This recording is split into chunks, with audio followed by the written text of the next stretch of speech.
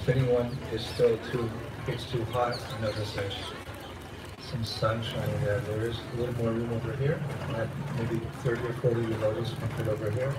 And there's also um, a temple over я хотела бы напомнить вам, если солнце будет мешать, для тех, кто из вас сидит сейчас на солнце, то можно перейти туда, вот справа от меня, там 30-40 преданных легко поместятся, либо подняться на территорию храма, где есть навес, и сесть там, если солнце вам печет. Kartamashi, can I have my phone, please?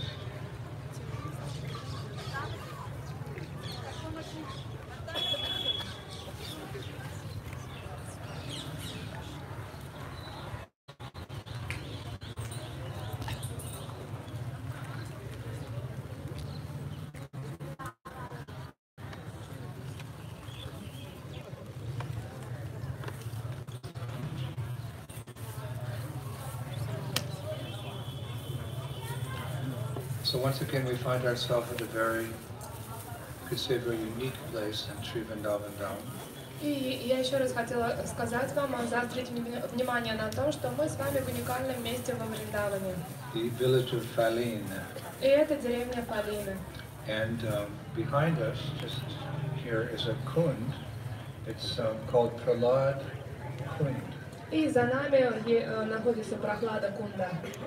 And uh, the temple here, beautiful temple right up there. Inside that temple, there's five deities. А вот за вами также есть замечательный храм, там установлено пять божеств. There's a little row of, deities, and in the center is a deity of Lord Narayan. Это целая линия божеств на алтаре, и в середине Господь Нарайна. And on the left of Lord Narayan is a deity of Ganesh. А слева от него божество Ганеша, And on the right side of Lord Narayan is a deity of Prahlad Maharaj. а справа от Нарайны Прохлад Махарадж. If you look a little down on the altar, on the um, center is a very ancient uh, Shila of Prahlad Maharaj. А если вы чуть ниже посмотрите, там в центре очень древняя шила Прохлада Махараджа. And on the bottom right, there's a, a face, an ancient face of um, Lord Nishri. А справа внизу там проявлено лицо Нарисимхадева, древнее. So of course, most of us are, well, all of us are aware of this most wonderful pastime of um, Lord Nrsimhadev uh, delivering Prahlad Maharaj from the danger of uh, his father, Hiranyakashipu, trying to kill him. И все мы наверняка с вами знаем ту историю, которая произошла, каким образом Нарисимхадев спас Прохлада Махараджа от того, что его хотел убить собственный отец Хираньякашипу. We know from the study of Srimad Bhagavatam, which, by the way, was um, many of Srila Prabhupada's lectures uh, came from the seventh canto. Actually, the majority of Prabhupada's lectures came from the seventh canto Srimad Bhagavatam because there's so many relevant instructions for aspiring devotees. И наверняка мы все с вами читали Шримад Бхагаватам, а также слушали лекции Шрила Прабхупады. И можно с уверенностью сказать, что большинство лекций Шрила Прабхупады было основано на седьмой песне Шримад Бхагаватам, потому что именно в ней сосредоточено огромное количество инструкций и наставлений для нас. And then we hear about the um, severe austerities that um, Hiranyakashipu performed for thousands of years because he wanted to become immortal. И там мы можем прочитать о том, что Хираникашипу на протяжении долгого времени, тысячи лет, совершал аскезы, э, жесткие аскезы для того, чтобы стать бессмертным. And as a result of his very severe austerities, um, he, by the blessings of Lord Brahma, he achieved, uh, you could say, superhuman powers. И, по, и благодаря тому, что он совершал жесткие аскезы, э, Господь Брахма благословил его, и он получил, обрел сверх, сверхчеловеческие силы. Worlds. И он стал таким могущественным, этот Хираникашипу, что он а, завладел всеми тремя мирами. One individual ruled the netherworlds, the earthly planets, and the heavenly planet, Svargaloka. This is how powerful. И представьте, насколько Хираникашипу был могущественен, он был одной личностью и при этом управлял, держал в страхе все адские планеты земного плана и Сваргалоку. Он победил даже полубогов. Actually, there's a, a, a reference somewhere that Narada Muni was forced to be the foot servant of Hiranyakashipu. И есть упоминание о том, что Нарада Муни заставили служить стопам Хираникашипу. And actually, he conquered the, the king of the heavenly planets, who we know as Lord Indra. Indra has a big throne that he's very attached to. And um, we see many paintings of Hiranyakashipu sitting on the throne of Indra. И мы все знаем, что а, а, по планетами полубогов управляет Индра, и Хираникашипу, он сам лично победил Индру, сверх его трона. И очень много картин есть, где изображается Хираникашипу, сидя на троне Индры, хотя Индраде очень привязан к своему трону. There's a saying in English that birds of a feather flock together. А, И есть такое выражение, что а, сама птица и перья птицы, все это движется в одном направлении. Crows are with crows, and swans are А, with каждая swans. птица в своей стае, то что э, воробей с воробьем, ласточка с ласточкой, ворона с вороной.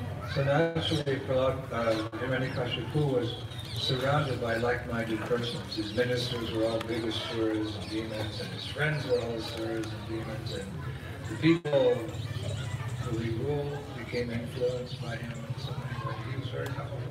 И естественным образом, что Хирани Кашипу был окружен, окружен себе подобными.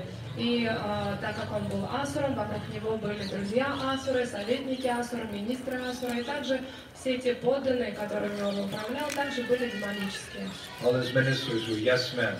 И все министры были э, все- всегда готовы ответить ему «Да, мой господин». What, what's a yes man? A yes man is, you know, one of your associates, whatever you say, he says yes, sir, yes, yes, yes, yes, yes, sir. И есть такие подданные, которые, несмотря на то, что им говорить, они всегда совсем согласны. Говорят, да, сэр, да, сэр. So they had no hesitation to carry out the nefarious desires of Hiranyakashipu. И поэтому они даже не сомневались исполнять все те жуткие поручения, которые давала им Хирания Кашипо. Couldn't acknowledge the superiority of God, and he couldn't acknowledge the devotees of the Lord who worshipped Vishnu or Krishna. И, будучи демоном, он не мог принять превосходство э, Вишну и Господа, и он также не мог э, хорошо относиться к преданным Господа. For that matter, he couldn't tolerate Vedic culture. И поэтому э, он не любил ведическую культуру. Sometimes we read in the Bhagavatam that Hiranyakashipu would go into a rage, become angry for whatever reason. He'd tell his yes men, his ministers, go to the earth planet, destroy all the auspicious trees, pollute the rivers, stop the yajnas, kill the brahmanas. И иногда, придя в ярость, Хираникашипу тут же звал своих верных помощников и давал им распоряжение. Отправляйтесь на землю, загрязните все реки, а прекратите проведение яй, убейте всех браманов. Man is recognized, a woman is recognized by the deeds they perform. So he was, he was demon, as we say in Spanish, numero uno. He was the biggest demon ever. И эм, человека нужно узнать по его поступкам. И так как поступки Хираникашипу были демоническими, мы можем сказать, что он был уникальным демоном, самым лучшим из демонов. Of course, the situation would have been much worse if his brother, Hira- Hiranyaksha, had survived. I don't know what we read in the Bhagavatam of Hiranyaksha survived. И, конечно же, ситуация была бы еще хуже, если бы выжил его брат Хираньякши, который был также демоном. Не знаю, что было бы уже тогда с Бхагаватом и с Шримад Бхагаватом. They were twins born at the same time, Hiranyaksha and Hiranyakashipu. И они были двумя близнецами Хираньякша и Хираньякашипу. But Lord Vishnu intervened very quickly in that situation as the boar incarnation, he killed Hiranyaksha uh, very early in Hiran- Hiranyaksha's demoniac uh, career. И а, Господь Вишну, он распорядился так, что на заре демонической карьеры Хираньякша он был убит воплощением Господа Ветра. And that infuriated Hiranyakashipu because blood is thicker than water. Your family members are the most dear to your heart, and his twin brother was killed by Vishnu. So Hiran- Hiranyakashipu, he hated Vishnu. И, конечно же, Хирани Кашипу это очень напугало, потому что мы все знаем, что кровь, она э, с- связующее звено среди родственников, и кто э, дорог нам по крови, тот на самом деле нам дорог. Поэтому Хирани Кашипу очень э, ненавидел Вишну за то, что тот убил его брата-близнеца. He wasn't ignorant of Vishnu's position as the supreme person, but he wasn't afraid of him at the same time. И с одной стороны он осознавал позицию Вишну, кто он такой, верховная личность Бога, при этом он его ненавидел. These demons in this, this time, they're not foolish persons. Many of them were enlightened with Vedic knowledge, but they used it in the wrong way. И э, демоны того времени это не были какие-либо обычные глупцы, на самом деле они были сведущи даже в ведах, но они ведическое знание, знание толковали по-своему и использовали его в корыстных целях. For example, Hiranyakashipu, he referred to Vishnu as a coward because he said Vishnu was hiding in the hearts of all living entities. He didn't come out to fight. This Vishnu, he's hiding in the heart, hearts of every living entity. And he, he, we glorify that fact, the super soul. But Hiranyakashipu, with his demented mentality, said, see, Vishnu's hiding, he's coward. И Хираника Шику он воспринимал Вишну как того, кто боится, потому что есть такое шлока, что Вишну он находится в сердцах своих преданных. И он это воспринимал так, как Вишну настолько испуган, что он такой э, ну, всего боится, поэтому прячется в сердцах преданного. Хотя мы провозглашаем это качество Вишну и говорим, что он в сердцах преданных, потому что он любит их. And although he knew that Vishnu or Krishna is described as the supreme person in Vedic literatures, he had a very materialistic concept of God. He said, I will kill that Vishnu and drink his blood. И несмотря на то, что он всегда читал, что Вишну это верховная личность Бога, что Кришна сам Господь, он очень материалистично относился к этой личности Вишну и говорил, что я его убью и выпью его крови. Sometimes there's a saying, a little knowledge is sometimes worse than no knowledge at all. И иногда есть такое выражение, что лучше вообще ничего не знать, чем знать совсем немножко и запутаться. So Vishnu, Krishna doesn't have a body of blood and bones. His body is made of eternity, knowledge and bliss. И Вишну, Кришна, его тело не является материальным, оно не создано из крови и костей, оно полное трансцендентного знания, вечности и блаженства. So because of his demoniac mentality, he had things a little bit mixed up. И так как у Хироника Шику был демонический, демонического настроения, он все перепутал. But from the materialistic point of view, he was uh, number one. Но с материалистической точки зрения он был первоклассным демоном, он был успешен. However, by a twist of fate, his very own son was not an Asura, but a big devotee of Vishnu. Но коварная судьба распорядилась таким образом, что его собственный сын, сын демона, Прохлад Махарадж, не был демоном, он был преданным. Can you imagine? The biggest demon that the, in the history of, we don't we say, my son said, don't say mankind, say humankind. That means men and women and everything in between. Uh, humankind, um, he was the biggest asura that's ever been known. И представьте только, Хираника Шипу, он первоклассный демон э, во всем мироздании. Мироздание включает в себя не только человеческое мироздание, а человек это и женщина, и мужчина, и все, что посередине. Таким образом, Хираника Шипу был прославленным демоном. So like father, like son, you would, you would think that his son would be number two. И вы можете предполагать, что сын, он подобен отцу, и сын демона будет демоном номер два. We say in English, like father, like son. И в английском есть такое выражение, что сын подобен отцу. But the material world is full of irony. Но на самом деле материальная энергия полна иронии. Prabhupada said one time, don't be surprised when things go wrong. Be surprised when things go right. И Шрила Прабхупада часто нам напоминал, что не удивляйтесь, если что-то пошло не так, удивляйтесь, если все идет гладко. And what's Murphy's law? Everybody knows Murphy's not, you know, a Ni- uh, Chanukya Pandit type Niti Shastra guy, but you got a few things right. Murphy's law is that whatever will go wrong, will go wrong. И Мерфи сказал однажды, он подобен чинанкию бандиту, что если что-то должно пойти не так, то точно что-то пойдет не так. So by a twist of fate, by the irony of don't put your faith, Prabhupada said faith means to put your trust in something sublime. You can't put your faith in material nature because there's so many twists of fate and ironies and things always end up going wrong and then you die. И материальная энергия, она обычно очень ироничная. Шрила Прабхупада часто говорит, что что такое вера? Это доверить себя трансцендентному. Но это не значит, что надо доверять материальной энергии, которая все выворачивает и, как правило, много трудностей, а потом что происходит? Вы просто умираете.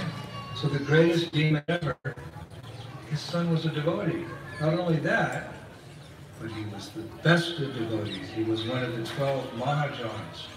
He was a spiritual prodigy in the ultimate degree. He was a great devotee. He was a pure devotee of Krishna from day one. He was a Nityasiddha, eternally liberated soul. That was his son. How embarrassing.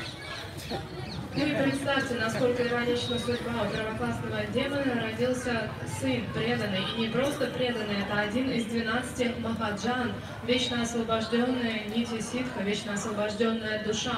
Представьте, как это оскорбительно и стыдно, что демону, если у него рождается такой сын.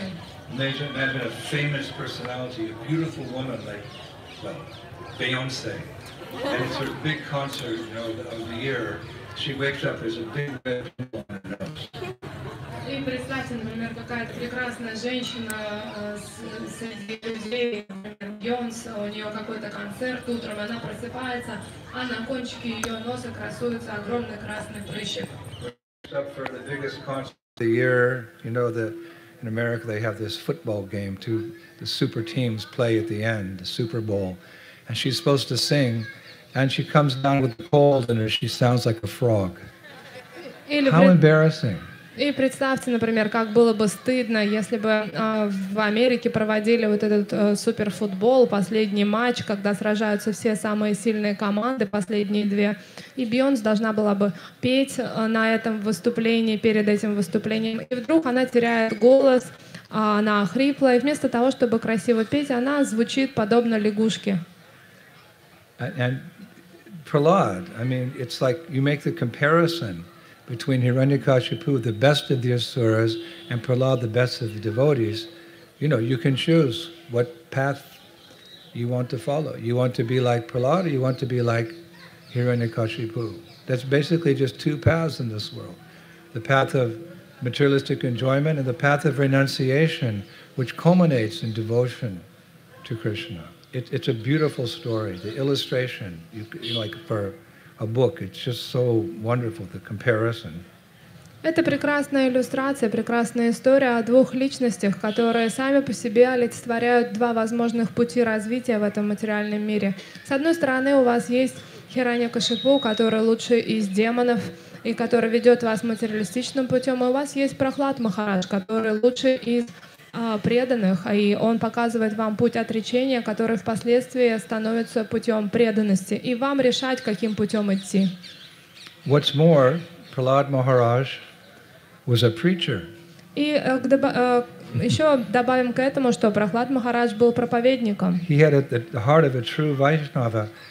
He wanted to share his good fortune with others. So, at the tender age of five years old, when he was in Gurukul, and the teachers would leave the room for a coffee break or whatever the demons would, uh, he'd stand up on the, the, the chair and he'd preach to his friends My dear boys, human form of life is meant for becoming Krishna conscious. И, будучи истинным вайшнаум, и имея по природе очень доброе сердце, он хотел поделиться своей уд- удачей с окружающими. И поэтому, несмотря на свой нежный возраст, ему было около пяти лет, в тот момент, когда его демоны-педагоги выходили на перерыв, наверное, кофейку попить или что там демоны еще делают, то Прохлада Махарадж выходил вперед, становился на возвышение и, обращаясь к своим друзьям, говорил, что «Мой дора- мои дорогие э, друзья, помните о том, что человеческая жизнь предназначена для духовного самосовершенствования. And they're all little demons. И они все были маленькими Paka, демонами, paka demons.